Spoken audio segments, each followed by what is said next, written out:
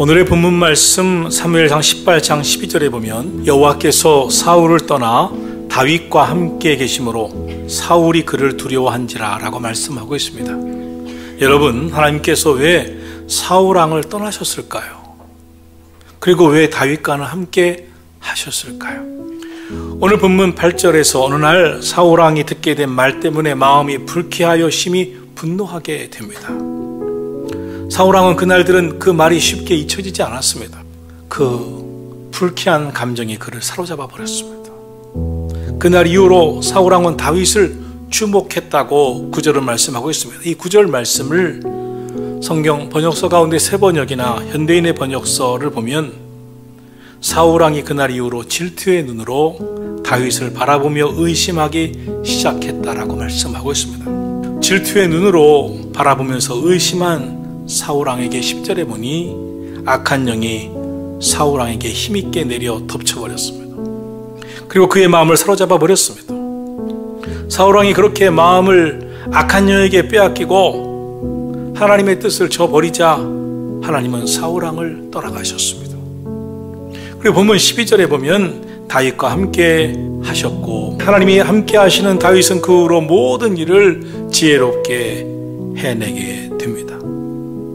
그리고 이스라엘 백성들과 유다 백성들이 하나같이 다윗을 존경합니다. 그리고 결국 하나님은 다윗을 들어 위대한 왕의 반열에 서게 해 주셨습니다. 참 사울왕을 보면 안타깝습니다. 마음이 아픕니다. 그의 마음에 상처가 그의 마음에 불쾌한 감정이 그를 사로잡아 병들게 만들고 그의 인생을 망쳐버렸기 때문입니다. 사람에게는 누구나 상처가 있습니다. 크고 작은 정도의 차이가 있을 뿐이지 상처가 없는 사람은 아무도 없습니다. 상처란 인생을 살아오면서 내가 경험했던 불행하고 부정적인 사건들이 오늘 내 삶의 모습 속에 남아 있는 것을 말합니다. 인간은 상처를 받고 상처를 주면서 살아갑니다. 그런데 문제는 이 상처가 치유되지 않은 상태로 우리 안에 잠재해 있는 경우입니다. 내 안에 울고 있는 내가 치유되지 않은 채 있을 때 문제죠. 세월이 흐르면서 잊혀지기도 하지만 아무리 세월이 흘러도 아픔과 불행이 마음속에 남아서 그 상처는 해결되지 않은 채 때가 되면 다시 상처가 작동하여 아픔을 줍니다.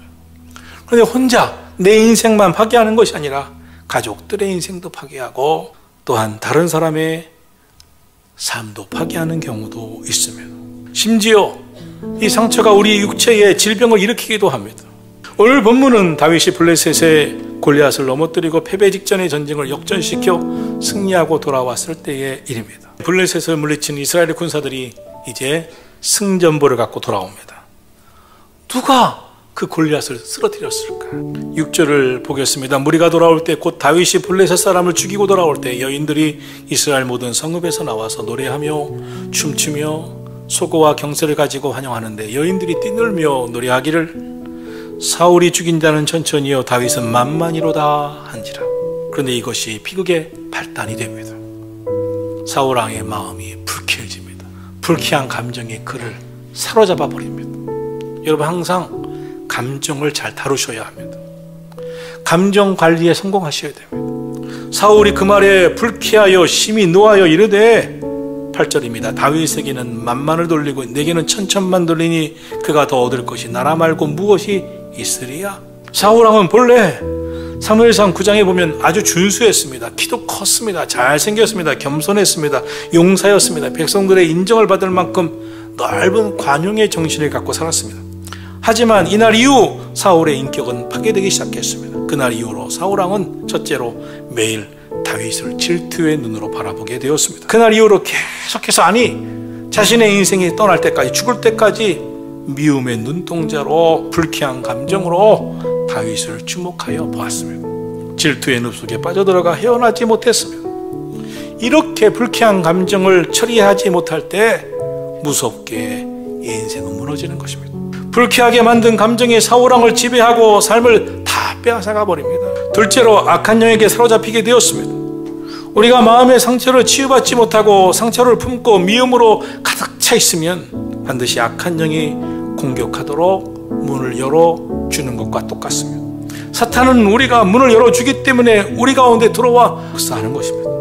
여러분 생각을 지키셔야 합니다. 마음을 지키셔야 합니다. 입술을 언어를 지키셔야 합니다. 그러나 사우랑은 마음을 지키지 못했습니다. 생각을 지키지 못했습니다. 입술을 지키지 못했습니다. 그러자 곧바로 성경을 보십시오. 그 이튿날 악한 영이 사로잡아 그를 지배해. 셋째로 사우랑은 악령이 임하자 미친 사람처럼 소리를 지르며 떠들어대며 서서히 인격이 무너져 파괴되어 갔습니다. 그 다윗을 죽이려고 창을 던집니다. 그러나 다윗은 그때마다 잘 피합니다. 이에 대해 성경은 여호와께서 사울을 떠나 다윗과 함께 계심으로 사울은 점점 더 그를 두려워했다라고 말씀하고 있습니다. 여러분 이렇게 상처가 인생을 파괴합니다. 인격을 파괴합니다. 그럼 이런 불행의 시작이 되는 이 상처를 우리가 어떻게 치유받고 극복해야 되겠습니까? 첫 번째로 하나님이 함께 해주셔야 됩니다. 그러므로 하나님이 함께 해주시기를 기도해야 됩니다. 사울왕이 악한 영의 지배를 뱉자 하나님의 말씀보다는 자신의 생각을 따라 자신의 판단 기준을 따라 살아갔습니다. 다윗은 누굽니까? 시편 23편 비록 내가 사망의 음침한 골짜기로 다닐지라도 해를 두려워하지 않을 것은 주께서 나와 함께 하심이라. 주의 지팡이가 막대기가 나를 안위하시나이다라고 고백했습니다. 다윗은 하나님이 자신과 동행하고 있음을 믿었습니다. 찬양했습니다. 기도했습니다. 두 번째로 겸손해야 합니다. 다윗은 겸손했습니다. 말씀에 순종하며 때를 기다렸습니다. 다윗에게 어느 날 갑자기 기름 부음 받는 사건이 일어납니다. 미래를 약속받은 것이죠. 그러나 미래를 약속받았다고 그는 교만해하지 않습니다. 나는 미래가 기름 부음 받은 자의 그런 위치에 서게 될 것이니라고 주장하지도 않았습니다. 사람들이 교만에 빠지면 겸손을 잃어버립니다. 겸손은 인격입니다. 세 번째로 기다리고 인내할 줄 알아야 합니다. 상처는 결코 쉽게 낫는 게 아닙니다. 그러므로 상처가 나을 때까지 인내해야 됩니다. 다윗은 자신에게 사울왕이 두 번이나 창을 던져 죽이려고 하고 또 다윗을 해치려고 사울왕이 용사들을 써서 추격해 오고 또 그를 향하여 군사들을 풀어 해치려 했어도 그는 인내했습니다. 기다렸습니다. 하나님의 말씀에서 벗어나지 않으려 했습니다. 자신의 감정대로 행동하지 않았습니다. 하나님의 말씀을 더 붙잡았습니다. 하나님이 떠난 사울왕의 안타까움과 비참함을 보면서 너무나 가슴이 아픕니다. 성경 요한복음 15장에 보면 너희가 내 안에 내가 너희 안에 거하면 무엇이든지 원하는 대로 구하라 그리하면 이루리라 너희가 나를 떠나서는 아무것도 할 수 없음이니라 라고 말씀했습니다. 사울 왕의 다윗을 해치려는 시도는 다 실패했습니다. 아무것도 되는 게 없었습니다. 수포로 다 돌아갈 뿐이었습니다. 다윗은 수많은 핍박 속에서 점점 강한 사람이 되었고 하나님이 함께 하시는 사람이 되었고 그의 지혜는 더 커져갔고 존경받는 위대한 왕의 반열에 올라갔습니다. 사랑하는 성도 여러분 저는 선한 목적의 모든 성도들이 하나님이 함께 하시는 분들이 되기를 주의 이름으로 축복합니다. 마음의 상처가 인생을 지배하지 못하게 되기를 진심으로 기도합니다. 주의 성령이 지켜주시고 주님의 말씀에 붙들리기를 예수님의 이름으로 축원합니다. 하나님과 함께 하시는 사람이 되십시오. 상처가 지배하지 못하는 인생이 되십시오. 하나님이 떠난 사람이 되지 마십시오. 진정 하나님이 크게 지혜롭게 행하도록 함께 해주시고 사랑받는 하나님의 자녀가 되시고 하나님이 늘 함께 계셔서 지켜 보호해 주시는 선한 목적의 모든 성도들의 삶이 되기를 예수님의 이름으로 축원합니다.